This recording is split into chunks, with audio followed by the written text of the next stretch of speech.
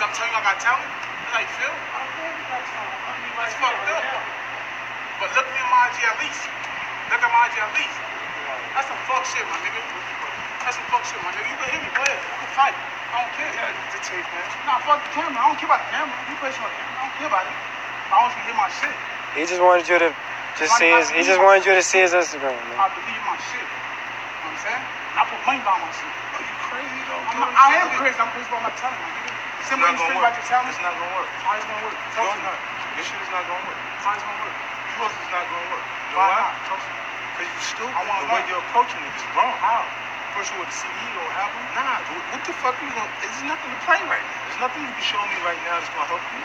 My IG. Saying like, yo, this is it. Like, Look I- at my IG. It's gonna help you right now.